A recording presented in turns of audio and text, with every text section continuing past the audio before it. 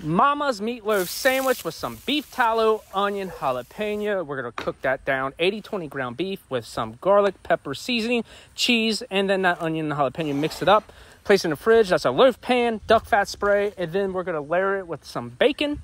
After you get it layered up, we're gonna add that 80 20 foundational layer. That is a stuffed poblano pepper with some jack cheese, and then cover it up and wrap it up with that bacon. Once you get it wrapped up with that bacon, we're gonna go ahead and follow it up with some more seasoning. That is garlic pepper seasoning. And right there it is, it's nice and tight. Place it on a rack.